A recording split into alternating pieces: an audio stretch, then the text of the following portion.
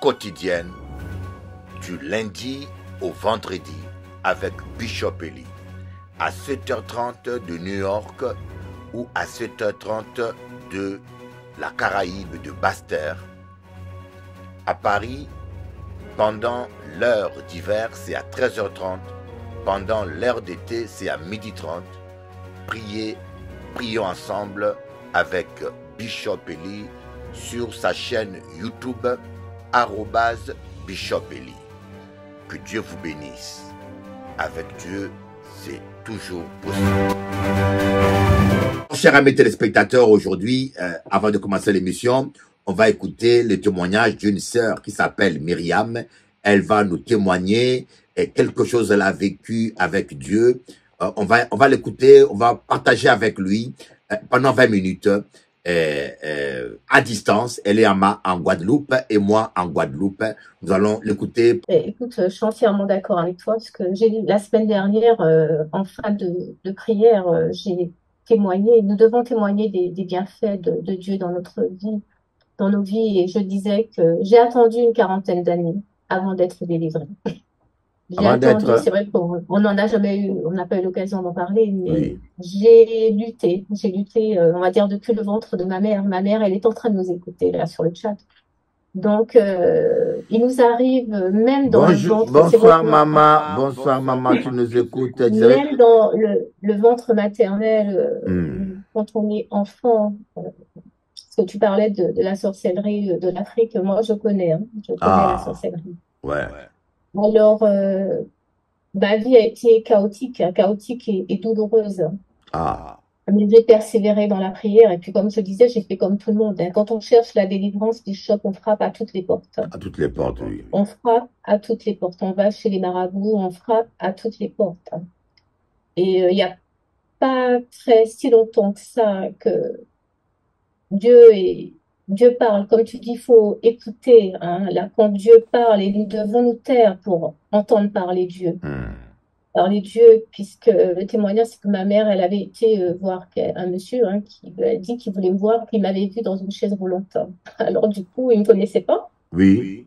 Et, euh, du coup, euh, j'ai été une première fois et on m'a donné des prières. Bon, tu connais, hein, chez les, quand on va chez nos galettes à la comme on Ouais. dit. Voilà. Il y a des gars des affaires qui utilisent la Bible. Et du coup, euh, après, j'y suis, j'y suis retournée.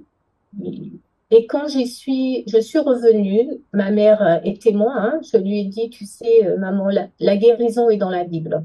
Amen. Et je crois que à partir de, de là, les choses avaient changé. Amen. Je lui ai dit, la guérison est dans la Bible. Waouh.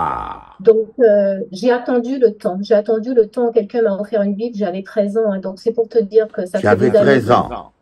J'avais 13 ans. Waouh. J'avais un petit livre de prière de, de mon enfance, hein, d'enfant, mais une, quelqu'un est venu un jour à prêcher pour moi et m'a offert une Bible que j'ai toujours. hein. Que Ah bon? toujours. Ah, quand je Oui, viendrai, quand je viendrai, il faut que je vois la Bible. Il faut que je vois la Bible. Je- que j'ai toujours. Et, et j'ai prié. Dans l'épreuve, j'ai prié. Je te dis, dans l'épreuve, dans les épreuves de ma jeunesse, hein, j'ai prié. Parce que des épreuves, j'en ai connues. Amen. Et, et quand on a, on a jeûné au mois de décembre, je te disais que Dieu m'a rappelé euh, mes péchés. Mais en fait, Dieu est venu surtout me rappeler qu'il m'avait gardé.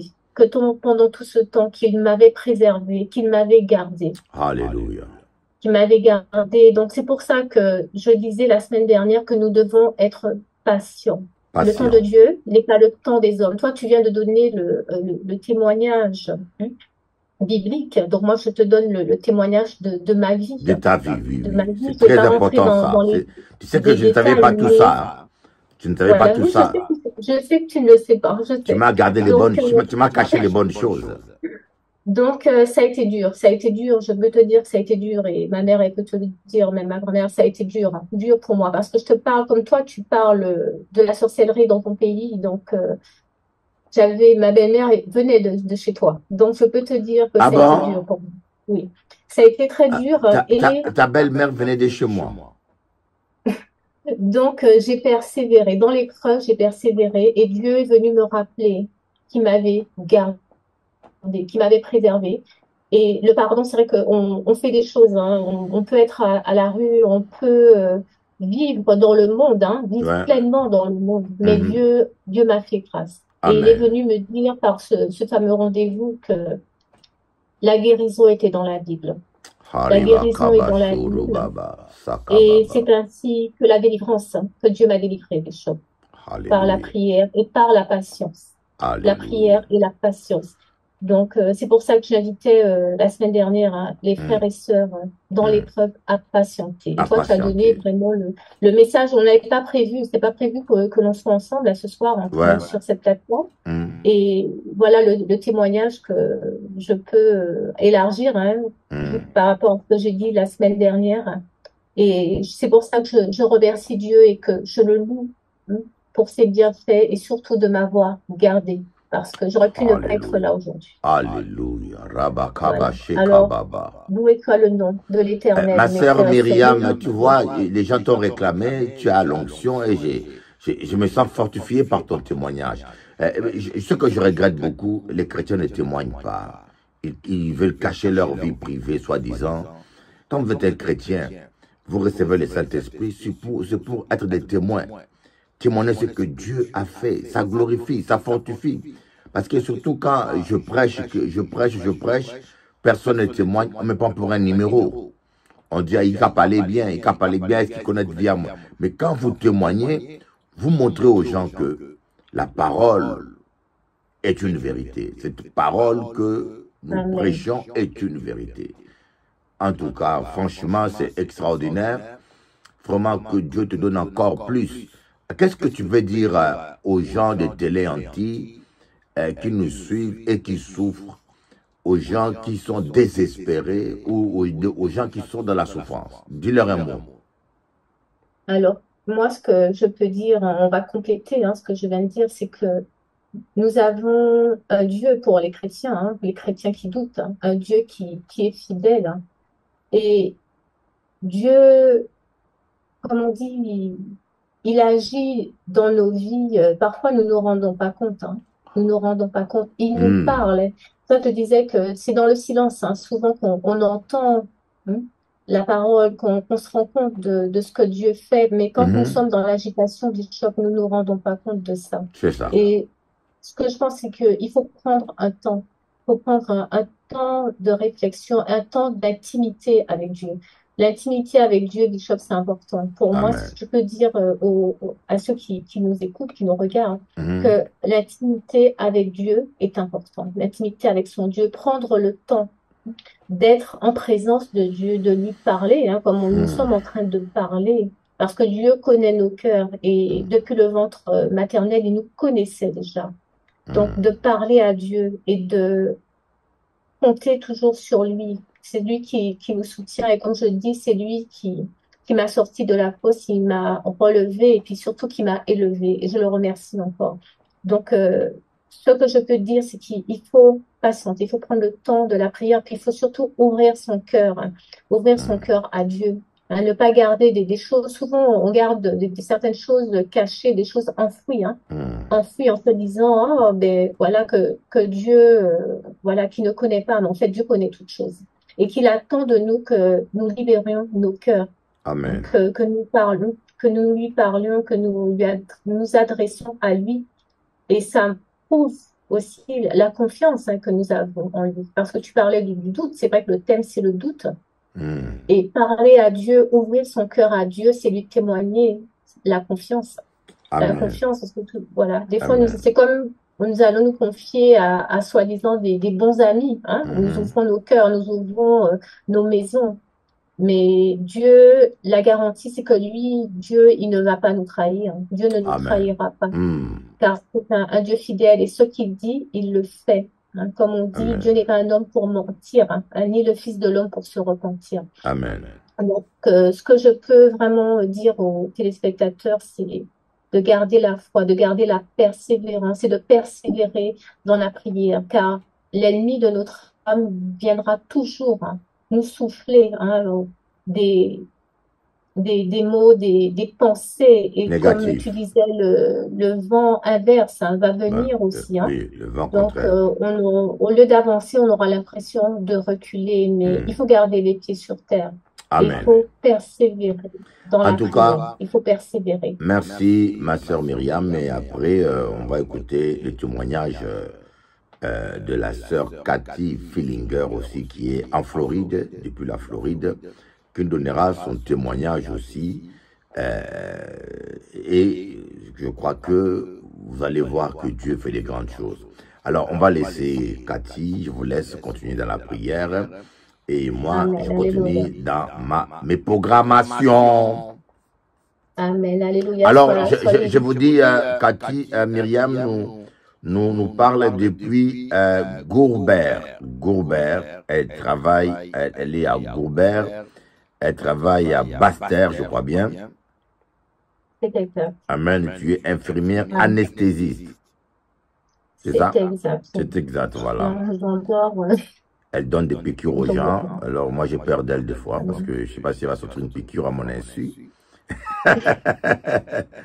ok. Alléluia. Je ne te le souhaite pas que, que Dieu puisse nous garder, Bishop, en santé, car la Amen. santé est un, un bien précieux. Aidons, Amen, Et Amen.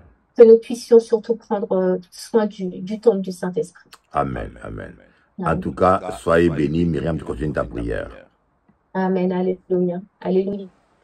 Maintenant, nous allons écouter la parole de Dieu. Akakweke, ça qu'a fait zot plaisir. Je vous aime beaucoup. Suivez la parole de Dieu. La conclusion sur le doute. Tout est possible à celui qui croit. Et celui qui croit, il n'a pas qu'à douter. Dios te bendiga. Todos está posible si tu tienes la fe. Everything is possible if you believe in the power name of Jesus Christ. Nyonso ezali possible soki otie kondima na yo elikia na kati na kolo bitin possible si okakwe à parole à bon Dieu. Chers amis téléspectateurs, c'est avec euh, grande joie que je vais partager avec vous la parole de Dieu. Eh oui, nous voulons vraiment que Dieu nous bénisse et nous fasse grâce. Nous allons d'abord nous nettoyer devant le Saint-Esprit. Aujourd'hui, c'est une émission de prière. Aujourd'hui, nous allons prier. Nous allons prier et passer un moment depuis votre maison avec le Saint-Esprit et un moment d'enseignement. Prions. Je viens réclamer le sang de Jésus-Christ sur moi. Je viens réclamer le sang de Jésus-Christ sur tous les amis auditeurs. Le sang de Jésus sur tous les téléspectateurs. Seigneur, puisses-tu nous laver tous avec ton sang précieux? Cher Saint-Esprit, je t'aime. J'ai besoin de toi. Tu es mon meilleur ami. Tu peux répéter ça. Tu es mon meilleur ami. Euh, je sais que sans toi, je ne vaux rien. Sans toi, euh, je ne peux rien. J'ai besoin de ta présence. Comme dit bien ce chant, je soif de ta présence, divin chef de ma foi. Quand faiblit mon courage, j'ai besoin de toi. Chaque jour à chaque heure, oh, j'ai besoin de toi. Viens Jésus et demeure auprès de moi. Des ennemis dans l'ombre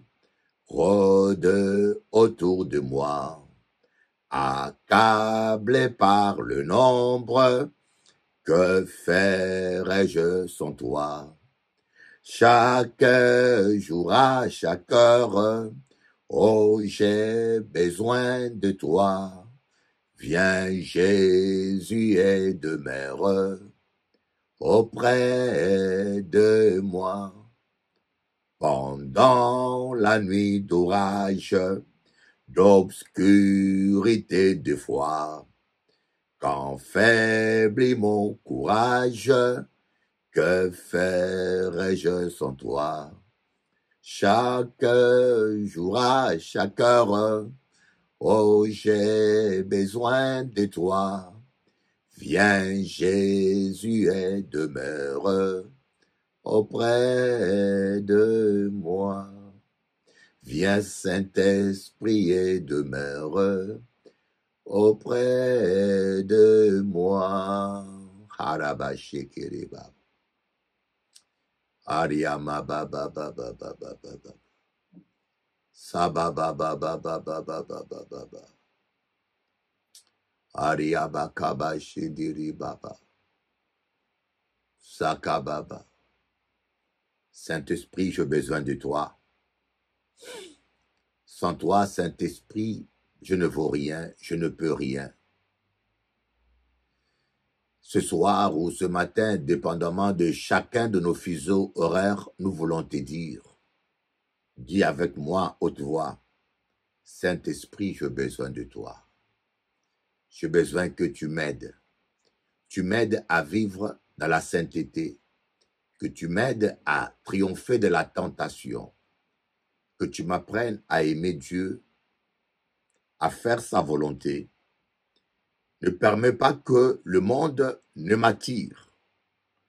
Chaque jour, attire-moi davantage. J'aimerais chanter avec vous ce chant avant de passer à la parole. Seigneur, attire mon cœur à toi. Tout, je te désire, tout, tout, près de moi. Tout, tout, tout, tout, ma délivrance, ton, ton, ton, dans le danger, c'est ta présence, divin berger, oh Jésus, oh Jésus, Seigneur, attire-moi, je désire quand je désire, être plus près de toi. Seigneur, attire tout, tout, tout, mon cœur à toi. Ton, ton, ton, ton, je te désire, pam, pam, pam, tout près de moi. Ton, ton, ton, ton, ma délivrance, pam, pam, pam, dans les dangers. C'est ta présence. Pam, pam, pam, divin berger. Oh Jésus, oh Jésus. Kotikangai boyete, j'ai désir, et si la boyete, zambeo, pambola ngayen, oh Jésus, Oh Jésus, ton ton ton, nasuka boyete, tan tan tan, bundela ngai lelo, pam pam pam, onaloko na yo, oh Jésus, ah Jésus, yeah, yeah. To, to, to.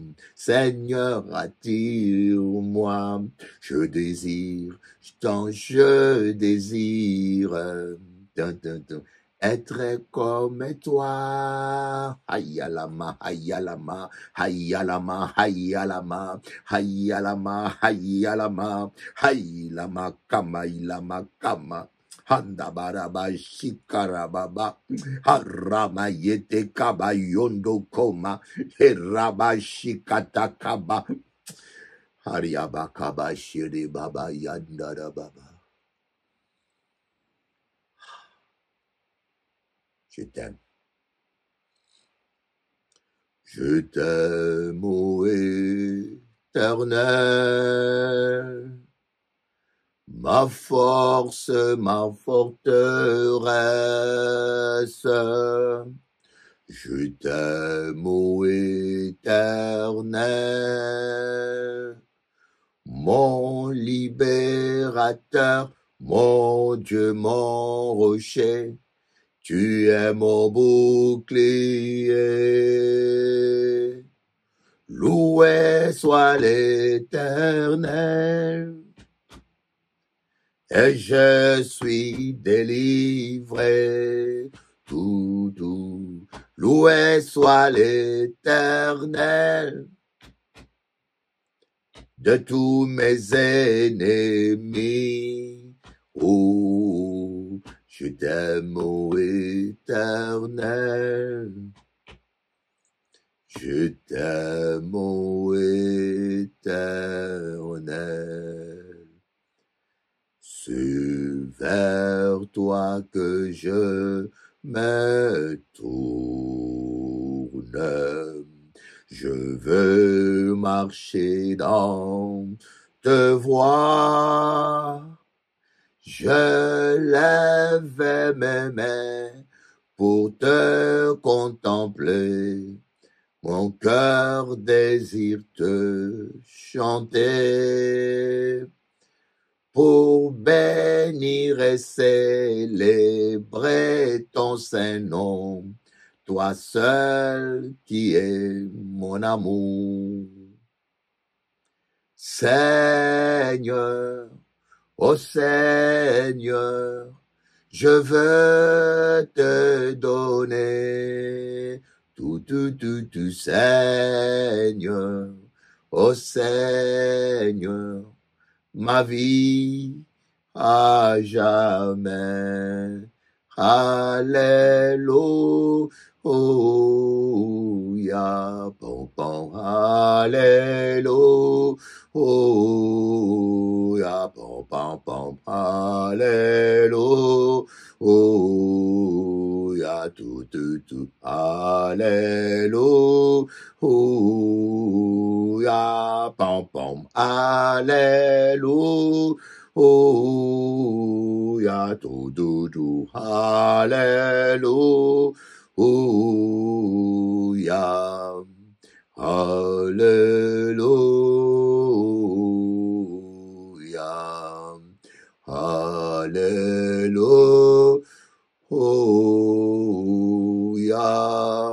Alléluia.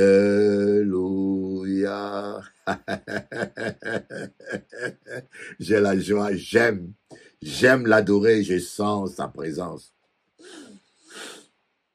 Je sens sa présence quand je l'adore. Je l'aime beaucoup. Je l'aime beaucoup. Je l'aime. Je vous, avoue que j'aime Jésus.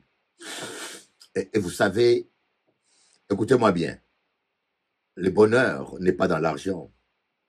Le bonheur n'est pas dans la femme. C'est vrai. La Bible dit que celui qui trouve une femme trouve le bonheur. Mais celui qui trouve une femme sans Dieu ne trouve pas le bonheur.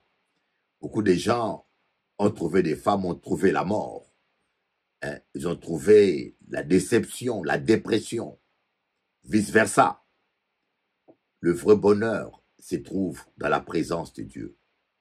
Voilà pourquoi quand le serviteur d'Abraham, suivez bien Séréma, je vais vous partager quelque chose que Dieu le Saint-Esprit me l'a donné directement. Je peux vous dire, ce n'est pas la chair et le sang qui me l'ont appris, mais ce un rima. Vous voyez, des fois, il y a des gens qui mentent, qui vous disent, Dieu m'a dit, Dieu m'a dit. Mais, mais ce que je vous dis, je n'ai jamais entendu un pasteur le dire. Je n'ai jamais, en un mot, entendu un être humain l'expliciter comme ça. C'est par élimination. Euh, Dans l'é- l'école biblique, nous allons démarrer le premier enseignement. Euh, C'est les méthodes de révélation du Saint-Esprit. Il y a la révélation, il y a l'élimination. Comment le Saint-Esprit, des fois, nous parle.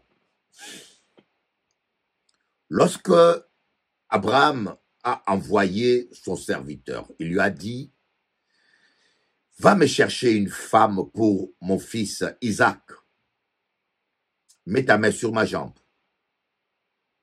Et jure-moi, jure-moi, jure-moi que tu vas respecter mes consignes. Ne va pas chercher une païenne. Va dans ma famille. Donc chez Laban, cherche-moi une femme pour mon fils. Alors Abraham a envoyé son serviteur qui lui a prêté serment. Écoutez les rémas. Le désert est immense. Je ne sais pas si vous avez déjà vu comment était le désert au Moyen-Orient. Il n'y avait pas de boussole à l'époque. Il n'y avait pas une cartographie précise. Abraham lui a dit, va me chercher une femme. Il lui a même pas expliqué où, dans quelle région. Le monsieur a avancé dans l'inconnu. La foi commence quand l'inconnu commence. La foi commence quand il y a incertitude. La foi commence. Et la foi t'amènera à faire un pas devant l'autre sans savoir où tu vas. Mais le problème, c'est que nous, nous voulons savoir où nous allons. Nous allons arriver, parce qu'aujourd'hui, nous allons conclure un peu notre enseignement sur le doute. Eh, mais, le Saint-Esprit m'amène à, à introduire l'enseignement d'aujourd'hui par ce réma. Le serviteur d'Abraham est allé vers une source d'eau. Sûrement, il devait avoir soif dans le désert. Quand tu fais un grand voyage, à un moment donné, tu as soif. Il est allé vers une source d'eau. Il n'est pas allé vers un troupeau de vaches. Il n'est pas allé dans un village quelconque il n'est pas allé nulle part que vers une source d'eau. Arrivé près de source d'eau, et c'est là qu'il a parlé à Dieu. Voilà le réma que Dieu m'a donné. C'est que aucun homme m'a appris.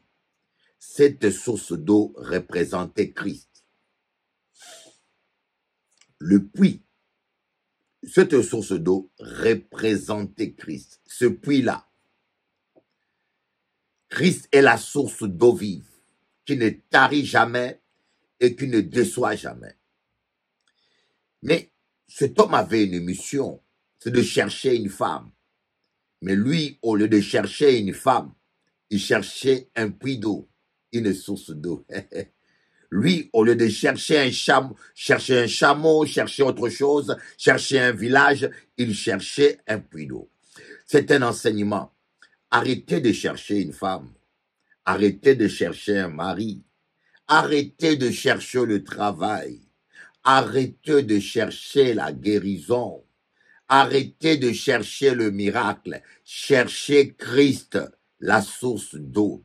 Une fois que vous allez rencontrer Christ, focalisez-vous sur Christ et faites de Christ votre priorité. Une fois que vous allez arriver au puits d'eau, Christ va attirer la femme. Christ va attirer le travail. Christ va attirer la guérison. Mais si vous cherchez une femme, au lieu de chercher Christ, vous allez vous perdre dans le désert de ce monde. Il y a tellement de pièges. Il y a tellement de confusion dans ce monde. Voilà pourquoi vous semblez perdu. Voilà pourquoi vous vous posez la question, mais je vais où, je finirai où? Parce que vous êtes perdu dans le désert de ce monde. Voyez, cherchez Christ, allez au pied du Seigneur, adorez-le, adorez-le, aimez-le, cherchez-le. Ne gaspillez pas votre temps. Libérez vos pensées euh, du, stress. Il y en a qui vont sur euh, euh, qui vont dans des sites de rencontres, qui vont partout, par-ci, par-là, chercher. Non, vous allez, vous avez mille chances sur une de vous tromper. Vous avez mille chances sur une de vous tromper. Et c'est comme ça que j'ai dit. La guérison du monde. Le médecin guérit en traitant la partie malade. Écoutez, le médecin du monde guérit en traitant la partie malade. Vous voyez, si vous avez mal à la main, vous avez une plaie à la main, il soigne la main. Mais Christ ne guérit pas la partie malade. Il commence pas par la partie malade. Quand Christ veut vous soigner, il entre d'abord dans votre cœur. Et quand votre cœur est en lui, à partir du cœur, il va aller guérir le malade. Euh, c'est comme aujourd'hui, la friboscopie. La friboscopie, si je ne me trompe pas de mot, je prononce bien le mot comme il faut, euh, c'est quelqu'un qui a mal à l'estomac, mais on va pas, on va introduire des fibres dans la bouche. Et à partir de la bouche, on entre jusqu'à aller dans la partie malade, faire une chirurgie interne microscopique et enlever l'organe ou la plaie et soigner la personne. Et c'est un peu ça que Dieu fait. Dieu veut vous guérir au pied. Dieu, vous, Dieu veut vous délivrer. Dieu veut vous guérir à la main. Il entre d'abord dans le cœur et il introduit la fibre spirituelle dans le cœur et, et à partir du cœur, il va jusque là où il y a la maladie. Eh, mais si votre cœur est fermé, tout est foutu. Si votre cœur est fermé, et parfois nos cœurs sont fermés, parce que nous sommes obstinés, obstinés. Vous venez à l'église que pour trouver un mari, vous cherchez Dieu que pour être guéri. Vous êtes trop obsédé par votre guérison. Monsieur, vous êtes trop obsédé par votre mariage. Madame, vous êtes trop obsédé par vos problèmes. Alors, déchargez-vous sur lui. Eh, donnez le trône. Donnez la première place à Christ. Videz votre cœur de toutes ses préoccupations et laissez le Seigneur Jésus-Christ prendre la première place dans votre cœur et, il va tout prendre en charge. Et nous tombons souvent dans ce piège. Nous tombons souvent dans ce piège où, au lieu de chercher Dieu, nous cherchons la solution. Au lieu de chercher Dieu, nous cherchons l'argent. Mais l'argent est en Dieu. L'or et l'argent appartient à Dieu. Et c'est comme le fils prodigue. Le fils prodigue, au lieu de profiter de la présence de son père, apprécier la présence de son père, eh, mais lui, il attendait son héritage. Vous savez, il y a des chrétiens qui ne savent pas apprécier la présence de Dieu.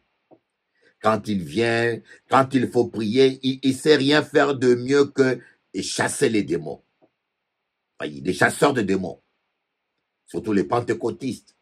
Vous liez les diables tellement, vous les liez tellement même là où il n'est même pas là. Tellement que vous le liez. Vous le voyez même là où il n'est pas là. Vous voyez le diable partout. Ah, le diable partout, vous voyez. Nous tombons dans le piège. Mais parce que vous n'aimez pas la présence de Dieu. La présence, voyez, comme je dis toujours aux enfants, pendant que vos parents sont vivants, aimons-les.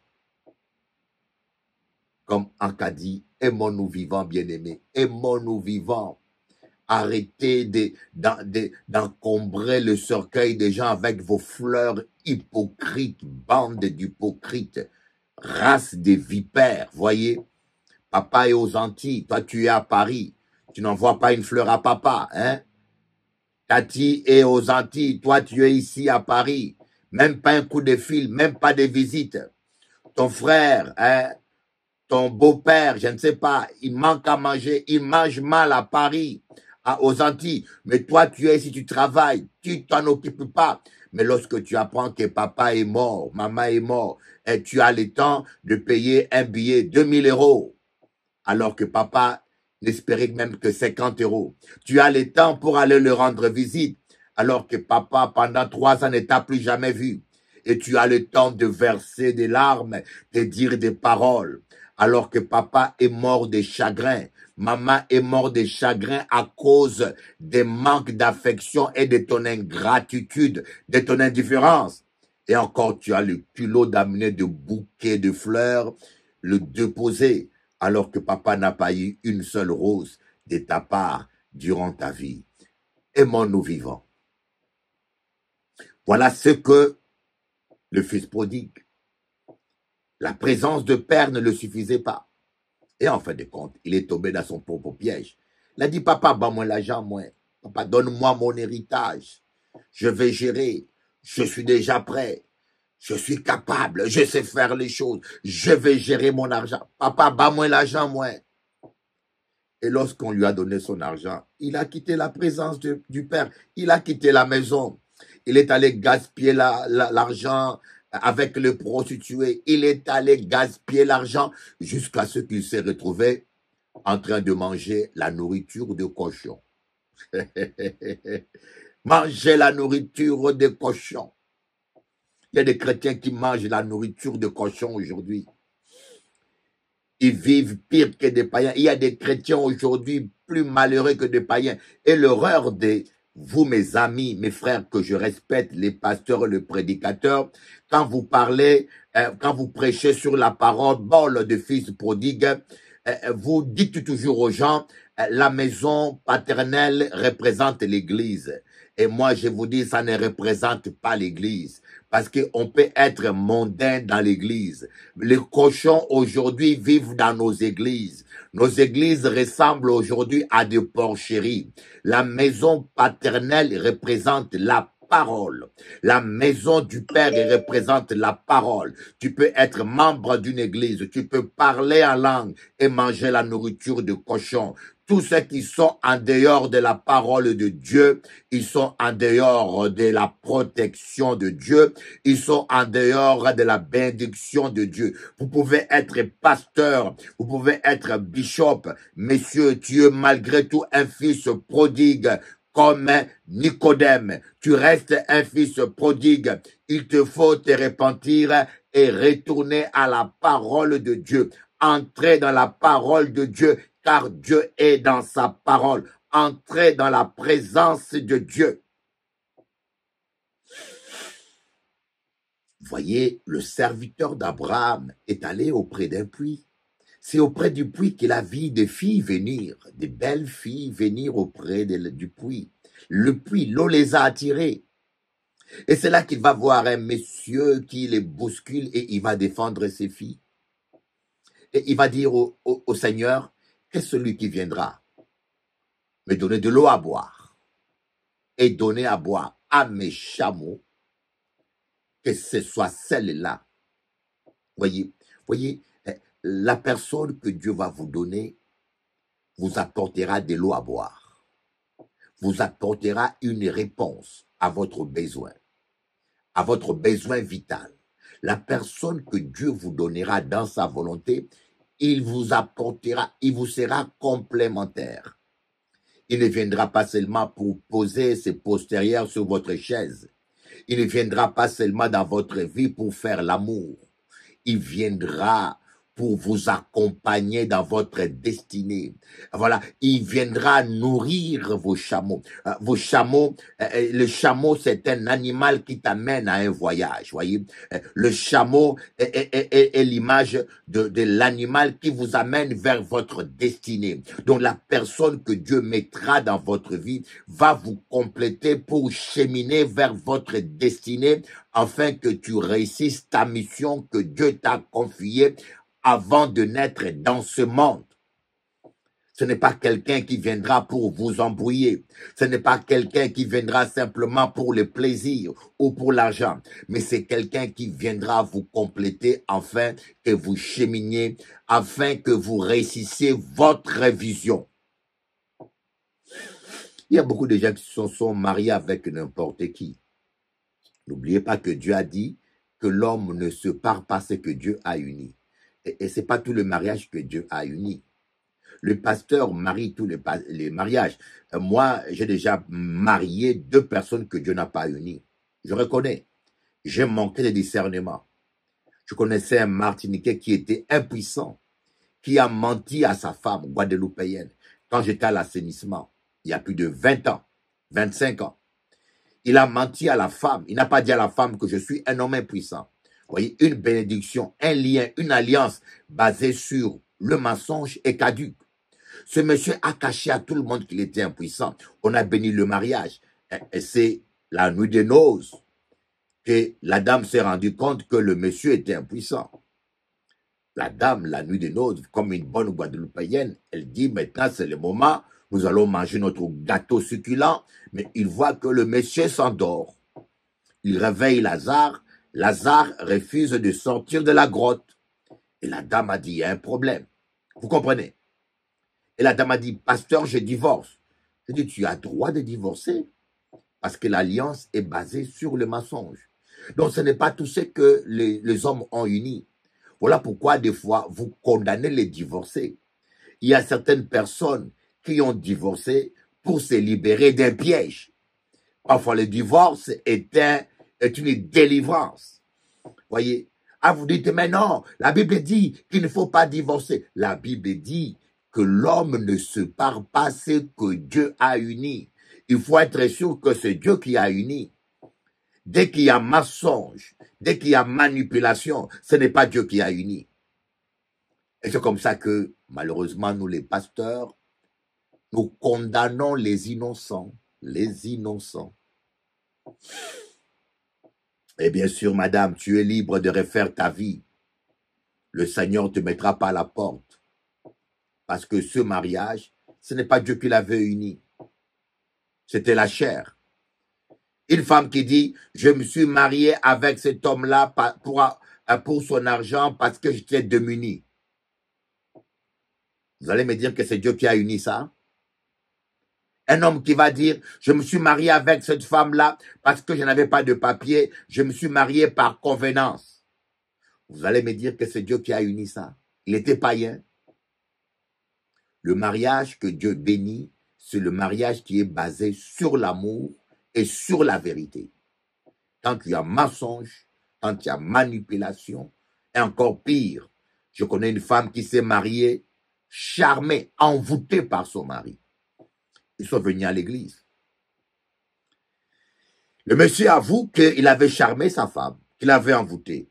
Il dit, monsieur, votre mariage n'est pas béni par Dieu. Ce n'est pas un mariage.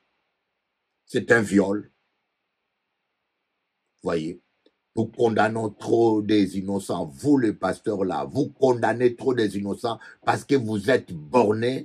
Vous ne comprenez pas les Écritures, ni la puissance de Dieu, et vous empêchez aux gens d'être sauvés parce que vous, leur imposez des choses euh, qui dépassent leur effort. Car Dieu ne permettra pas que nous soyons tentés au-delà de notre force. Arima yakaba, shendaraba kaba, yendereba kaba, shekaramana yondo, yokoromana kaba, yekababa shendereba. nous voyons ce passage, nous allons encore continuer avec ce passage magnifique. Cherchez le Seigneur, le puits d'eau, et la bonne personne viendra. Toi, tu vas... Je connais des sœurs qui vont d'église en église. Une sœur m'a dit, je quitte l'église parce qu'il n'y a pas beaucoup d'hommes. Je dois me marier, mais je ne trouve pas l'homme. Il y a des femmes qui quittent l'église parce qu'ils cherchent un homme et comme ils ne trouvent pas l'homme, comme il n'y a pas beaucoup d'hommes dans l'église, ils vont là où il y a des hommes. Allez vous marier avec le diable.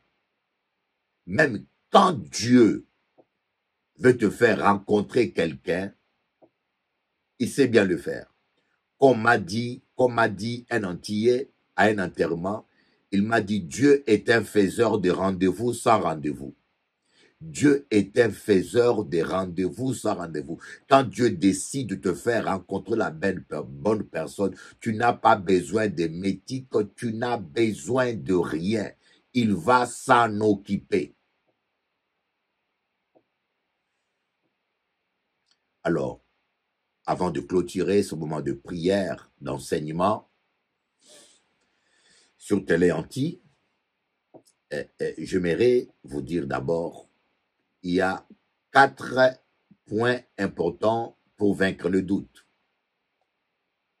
Comme on a vu, la Bible dit dans Jacques chapitre 1, verset 7, Celui qui doute qu'un tel homme qui ne pense pas qu'il peut obtenir quelque chose de la part du Seigneur. Tout est possible à celui qui croit. J'aimerais te dire, je ne connais pas ton problème, mais je sais que le Dieu Tout-Puissant a la solution pour ton problème. Mais il faut que tu puisses vaincre le doute. Mais comment vaincre le doute Nous prêchons cela. Il ne faut pas douter, il ne faut pas douter. Mais maintenant, je vais vous expliquer comment vaincre le doute. Parce qu'on peut croire, mais il faut croire et demeurer dans la foi. Je peux croire à l'instant. Je peux croire pendant une semaine. je loue Dieu, je persévère. Eh, mais la deuxième semaine, je ne crois plus. Mais je continue à louer Dieu. Je continue à prier. Mais je suis dans l'incrédulité et mes efforts que j'ai fait pendant une semaine sont annulés. Je peux croire pendant un an. Voyez, les enfants d'Israël, ils ont traversé le désert pour aller à la terre promise.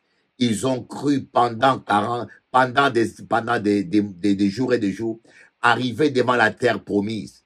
Quand Moïse a envoyé dix espions, les espions ont fait un rapport négatif, ils n'ont pas cru. Ils ont annulé un voyage qui a duré des années. Ils ont annulé un effort. C'est l'image un peu de ce que il nous arrive des fois, nous croyons, nous gênons 40 jours, nous prions, nous arrivons à un jour de la victoire et nous doutons et on annule. Ils ont annulé, ils sont arrivés à un pas, à la frontière de la terre promise, ils ont douté et Dieu leur a dit, vous allez tous mourir dans le désert. Ils ont tourné en rond dans le désert parce qu'ils ont douté. Les doutes, c'est grave. Zacharie, le souverain sacrificateur, lorsqu'il a douté de la parole de l'ange, l'archange Gabriel, il est devenu muet. Douter, c'est annuler la prière. Douter, c'est annuler la guérison et la délivrance. Et douter, c'est remettre en question la fidélité de Dieu. Il faut résister au doute. Et, comment on peut résister au doute? Premier point. En déclarant la parole appropriée. La parole appropriée, c'est-à-dire déclarer la parole, la promesse de Dieu à propos de votre situation. Je suis malade. Je déclare par ces maîtrissures, je suis guéri. Les gens me condamnent, m'accusent. Je déclare, il a pris tous mes péchés à la croix. Je suis lavé par les sang de l'agneau. Si nous confessons nos péchés, il est fidèle et juste pour nous pardonner. C'est un verset que j'utilise beaucoup. Quand les démons viennent m'accuser ou quand les gens veulent m'accuser, je déclare, je confessais mon péché, donc Dieu m'a pardonné. Parce qu'il est écrit, si nous confessons nos péchés, il est fidèle et juste pour nous le pardonner. Je manque d'argent pour un projet. Je manque d'argent pour un projet que Dieu m'a confié, pour un ministère que Dieu m'a confié. Je déclare, l'Éternel est mon berger, je ne manquerai de rien. Mais si je manque d'argent, et je déclare, par ces matricures, je suis guéri. La guérison n'a rien à voir avec la pauvreté ou l'indigence. Donc il faut déclarer la parole appropriée. Car la foi vient de ce qu'on attend et ce qu'on entend vient de la parole de Dieu. Deuxièmement, le témoignage personnel, le témoignage du Saint-Esprit. Il faut se rappeler ce que Dieu a fait dans ta vie et dans ta parole et dans sa parole. Voilà pourquoi vous allez voir dans les psaumes, David dit, l'Éternel est celui qui a ouvert la mer rouge. L'Éternel est celui qui a créé la terre et le ciel. L'Éternel qui a suspendu eh, la terre comme un cercle dans les vides. L'Éternel est celui qui, gronde dans les eaux. Pourquoi David s'est rappelé tout cela? C'était parce qu'il voulait chasser le doute et fortifier sa foi. Rappelez-vous toujours de la grandeur de Dieu. Et eh, mais malheureusement aujourd'hui, les chrétiens se rappellent toujours de la grandeur du diable. Ils se souviennent toujours de ce que Satan m'a fait, Satan m'a fait ceci, Satan m'a fait les sorciers. Vous parlez tout le temps du diable. Monsieur le pasteur, arrête de nous saouler tout le temps dans ta bouche le diable, le diable, Satan, Satan. Bandoki. Kakamasula bandoki. Yo moko zandoki, hein? Yo moko zandoki. Kakamasula bandoki. Abandoki. Yo, yo zandoki yo? Vous parlez tout le temps des sorciers, sorcellerie, Satan, Satan. On est fatigué. Parlez-moi de Jésus. Parlez-nous de Jésus. Les pasteurs, particulièrement le pasteur africain, nous sommes africains, animistes d'origine. Nous voyons plus, plus le diable que le Saint-Esprit. Nous voyons plus les démons que les anges. Lisez la Bible.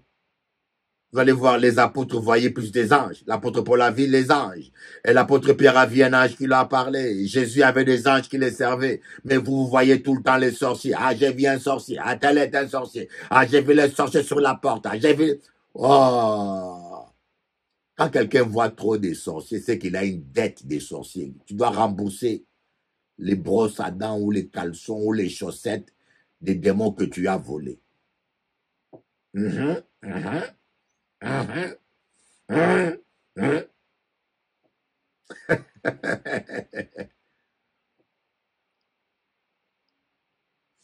Donc, il faut se rappeler, David devant Goliath, il s'est rappelé qu'il avait tué les lions, qu'il avait tué l'ours. Ça l'a fortifié. Il a dit à Goliath, donc si moi je tuais les lions, si je tuais l'ours, donc en cas coupé Vous voyez? Rappelez-vous de vos victoires et n'oubliez aucun bienfait de l'Éternel. Mon âme bénit l'Éternel et n'oublie aucun de ses bienfaits. Troisièmement, il ne faut pas regarder les circonstances.